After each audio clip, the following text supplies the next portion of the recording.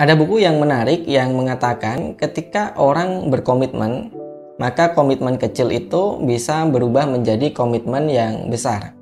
Misalkan ketika saya berkomitmen untuk hidup sehat, maka saya akan jauh lebih mudah diajak untuk olahraga, diajak untuk makan makanan yang sehat, diajak untuk nge-gym, maka saya akan lebih mudah untuk mengiyakan.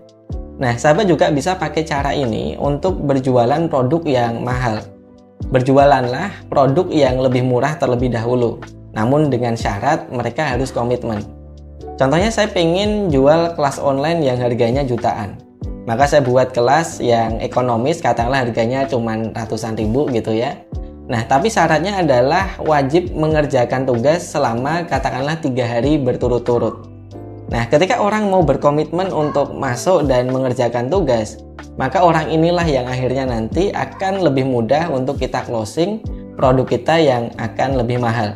Maka caranya adalah bangunlah komitmen mulai dari yang kecil terlebih dahulu, produk kita lebih murah tidak masalah. Nah, ketika orang mau berkomitmen di situ, insya Allah orang akan mau berkomitmen di produk yang lebih mahal.